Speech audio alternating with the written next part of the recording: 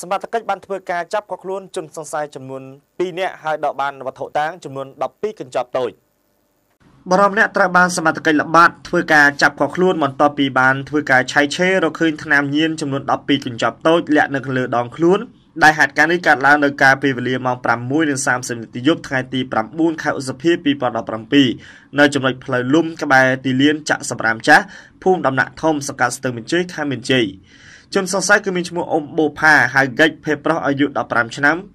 ស្នាក់នៅនៅក្នុងក្រុមទី6ភូមិដំណាក់ធំសង្កាត់ស្ទឹងមានជ័យមានស្រុកកំណើតនៅឯស្រុកត្រាំងខេត្តតាកែវ